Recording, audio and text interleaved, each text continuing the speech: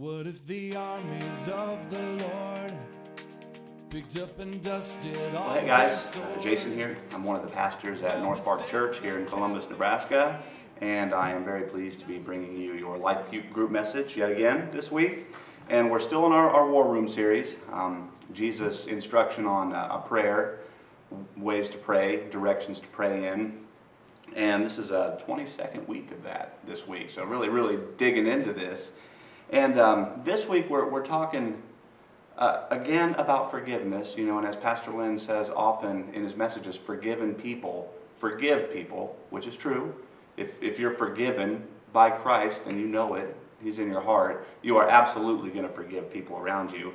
Um, what we're talking about today specifically is uh, forgiving people that that are difficult to forgive, people that that um, that it would be easy to say don't deserve it, right? Uh, you know, one of the things that I've learned after following Christ for a few years is that uh, one of the best ways to really, really get close to Him is to be willing, be prayerful about how to endure the injustice um, that is heaped upon you by the world and by everybody around you.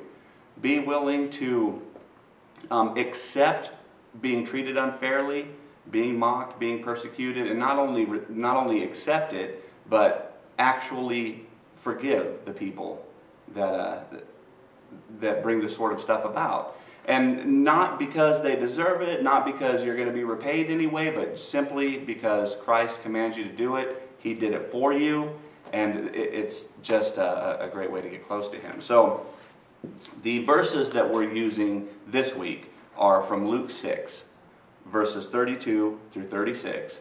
I'm going to go ahead and read those verses right now, and you guys in your group just follow along in your Bibles, uh, on your outline, and when we're done, we'll get into some discussion questions. Okay, so Luke 6, verses 32 through 36. Here we go.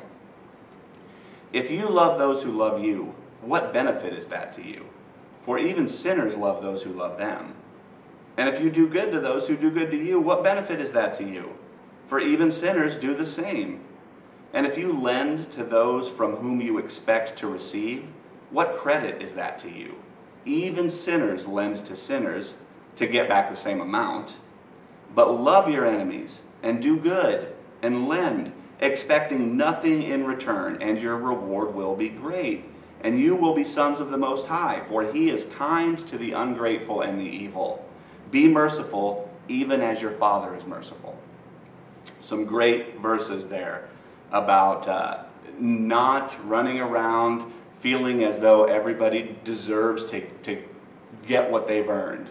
Because honestly, if we ran around just getting what we had earned or what we deserved, we'd all be in serious trouble, right? So, on to our discussion questions. Question one from these verses uh, from Luke 6 What stands out to you the most? What about these verses stands out to you the most? Pray about that, talk about it, and we'll get back for question two.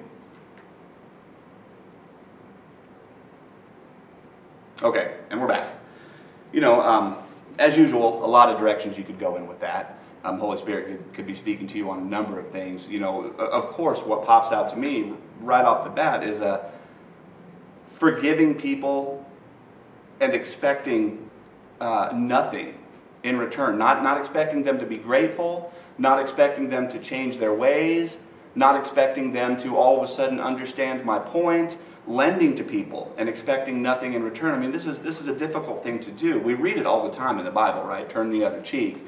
We know that Jesus tells us to forgive, to lend, to take care of people who not only can't repay you, but usually have no desire to do so. But it's a difficult thing to apply. So that jumps right out at me.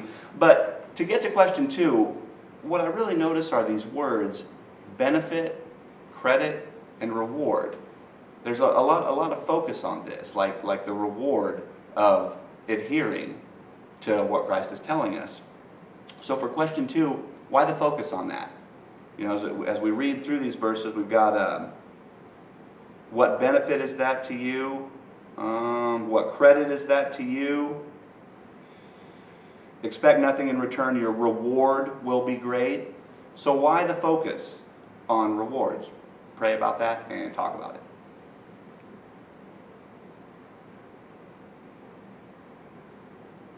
Okay, hopefully that generated some good discussion there. Um, uh, you, you know, obviously, the eternal reward is great, and that is something that we always want to keep in our hearts. Thinking eternally can be difficult, but it's uh, it, it's a great way to grow to try to keep a top of the mind awareness of that. But another thing that I'd like to point out here is that um, you can really tell how uh, passionately you are seeking Christ by the way that you are seeking your rewards. And what I mean by that is the person who is really desiring to pursue holiness, desiring to follow in Christ's footsteps, uh, is going to be focused on godly rewards, eternal rewards. The, the reward for enduring the injustice of people is that Christ commands you to, and it glorifies Him. And for the godly person, that's the credit, that's the reward, that's the benefit. But for the person that just cannot get over the injustice of it all, has an impossible time uh, restraining themselves when it comes to making sure that everybody gets what they deserve, that person really needs to, to do some serious praying and, uh, and, and ask themselves how, how much they truly desire to follow in Christ's footsteps. Because if those are the rewards that, that, that a person is seeking, these worldly rewards, to be treated fairly, to make sure that everything is repaid fa- fairly, to make sure they're understood, to make sure that they don't get treated in, with, with injustice, a person seeking the wrong rewards, and there's some prayer that needs to go into that. So we're going to move on to question three now. Um, somebody in your group read Luke chapter 14, verses 12 through 14 aloud. That's Luke 14, 12 through 14. And then we will get back for a couple more questions. Do that now.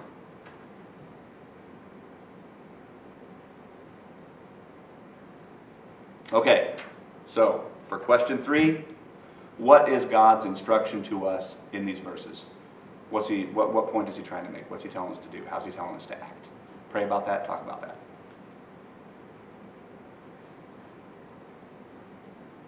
Okay, so this banquet is a great uh, picture of sacrificial love and sacrificial forgiveness.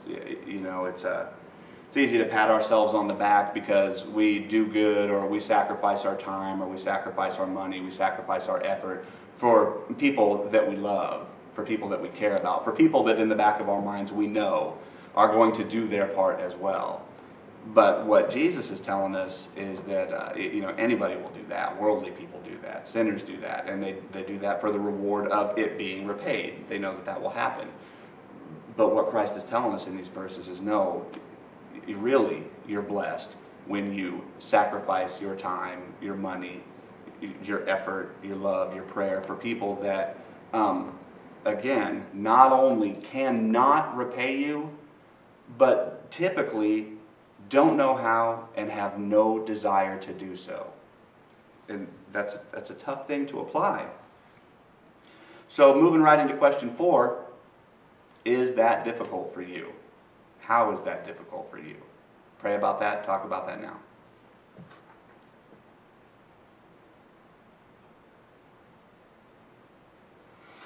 Okay, so for our last question, how can your life group help you to apply what Jesus is telling us about forgiveness?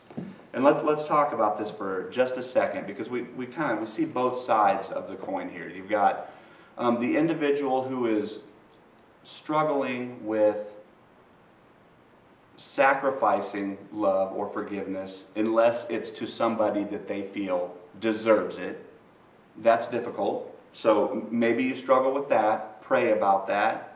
How can your life group specifically help you?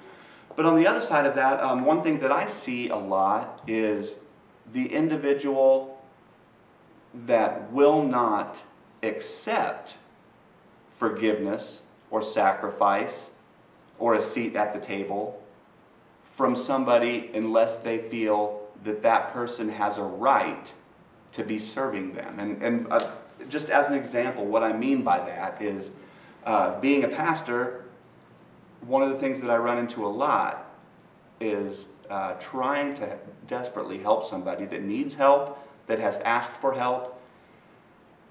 And this individual, these individuals, it's a common heart issue, are more than willing to accept help or sacrifice or counsel from me or another pastor, but not from just your, a, a, member of the church. Because I, I believe in their mind, they feel that certain people have earned the right to speak into their life, while other people have not. So maybe you find yourself on that side of forgiveness or sacrifice of your own will. Either way, wherever you find yourself, I want you to prayerfully ask God how specifically your group can help you to apply what Jesus is telling us about forgiveness in these verses. Do you need help applying forgiveness to other people? Do you need help receiving forgiveness from other people? Do you need help with both? Pray about that, talk about that, be willing to apply that in your lives, be willing to be accountable to the people that God has put in front of you, not just the people that you think have earned the right to speak into your life, but be willing to be accountable to the people that, that you, you don't think have earned the right, because that's part of it too. And, uh, and it's been a pleasure for me to be here once again. I hope you guys have a great week. Be praying for each other. Uh, be holding each other accountable. Be on the phone with each other. Be loving each other. And I'll be back with you next week.